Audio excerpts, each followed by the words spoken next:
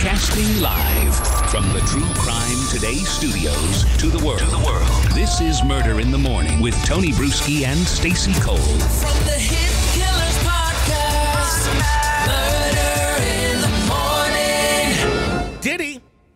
He's uh, now been ordered to pay $100 million in a default judgment over sexual assault allegations. Surprise, surprise, because he just didn't show up to court.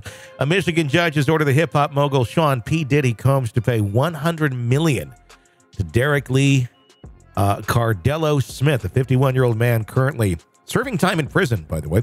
The judgment stems from uh, Cardello Smith's claims that Combs drugged and sexually assaulted him during an after party in 1997.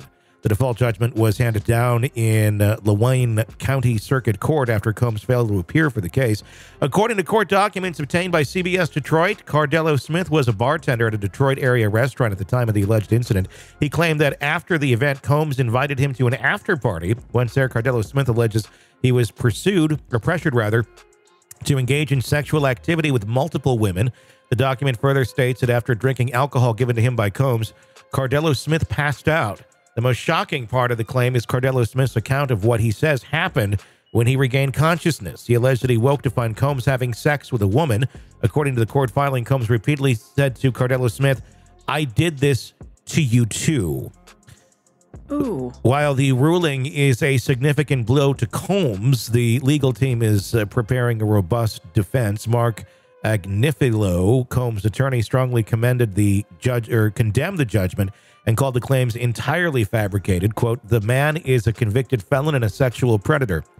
Which happens to be probably what your client's going to be very soon, too. Who has been Yeah. sentenced on 14 counts of sexual assault and kidnapping over the last 26 years.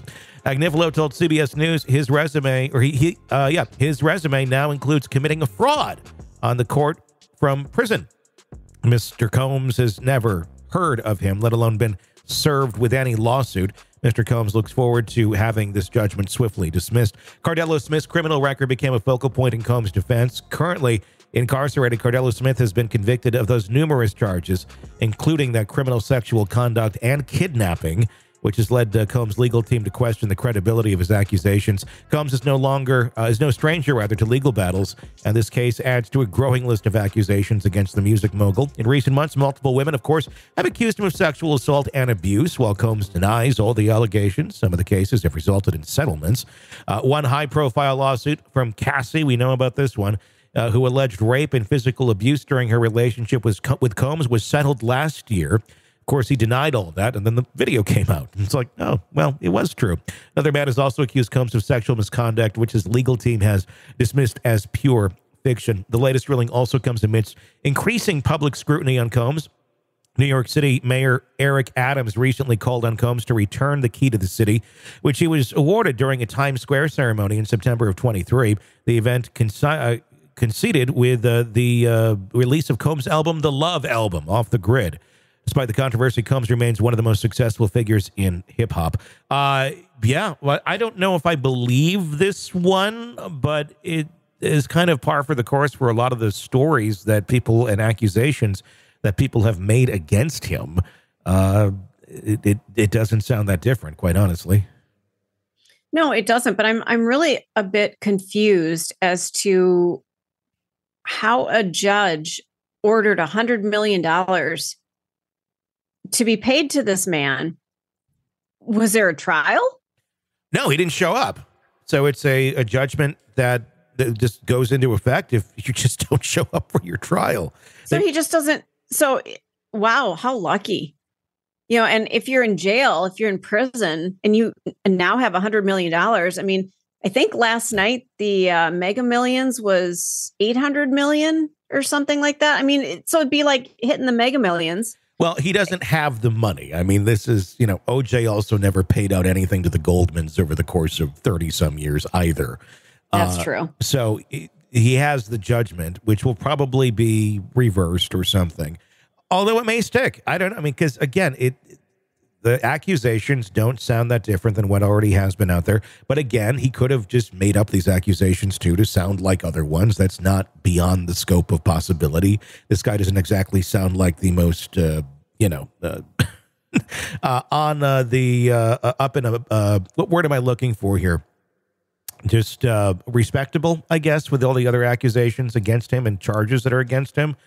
I don't think it's beyond the scope of uh, understanding that he may have made some of this up, but you don't know with with all of this with Diddy's stuff. It, it could very well be true. I man, what what a story. It just every time I click on like the topic of Diddy, I've got it saved in my Google News. So there's something new. I mean, this guy is just he is surrounded by drama. Yeah, and he will be for the rest of his life.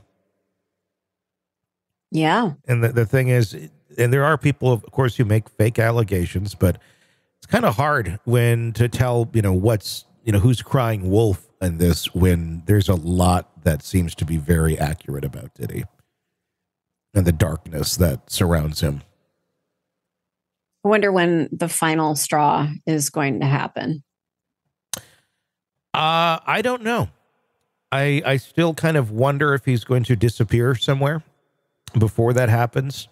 I don't know how he's going to pull that off, but I could see him trying to do that.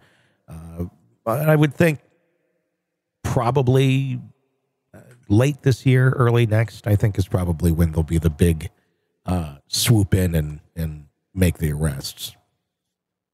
But who knows? He's he's dodged a lot of things his whole life, so we shall see. You're in the thick of a true crime saga, every detail sinking in. And then, wham, a commercial about something you couldn't care less about. It's like being served a microwaved dinner at a five star restaurant.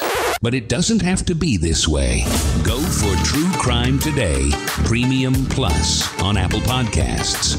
With True Crime Today, Premium Plus, you get uninterrupted, ad free episodes, extended interviews that dig even deeper into the muck, and early access so you can brag to your friends. It's like ordering the secret menu at a crime buffet. So, search for True Crime Today Premium Plus on Apple Podcasts, subscribe, and savor every twisted detail without interruption.